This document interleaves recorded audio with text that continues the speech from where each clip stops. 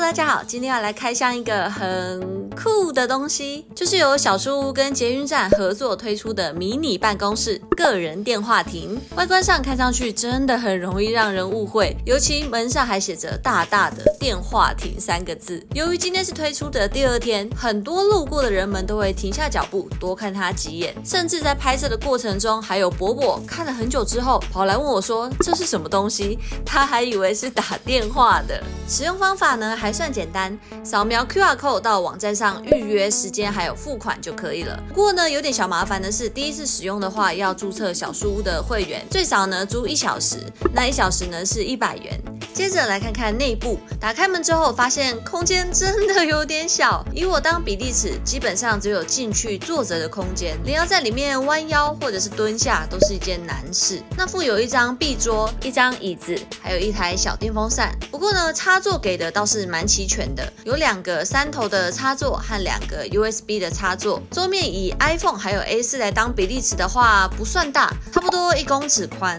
感觉放一台笔电和滑鼠就差不多了。进来后，接着往上看，咦，竟然有一颗超大的监视器，是不是想坏坏？不可以色色。重点是呢，也让原本赢过咖啡厅的优点隐私性。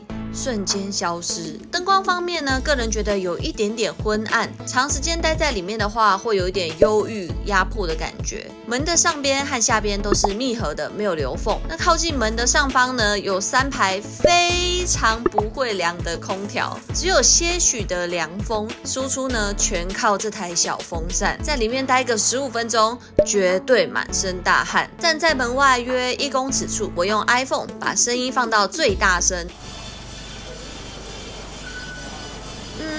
人觉得隔音的部分不是太好，如果你在讲八卦的话呢，可能要小心一些哦。最后实测一下能不能在里面度孤小睡一下。我的身高一百六十八公分，把椅子顶到最后面之后往前趴，也很难完全伸直放松身体，会觉得有一点卡卡的感觉。超过一七五的人这样睡，不用十分钟就脚麻了。重点是还很热。总结来说，一小时要价一百元，选择的时间呢，也必须要每个整点或者是三十分去做预约。个人觉得 CP 值实在不太高，我会选择去咖啡厅点杯咖啡，吹冷气。你呢？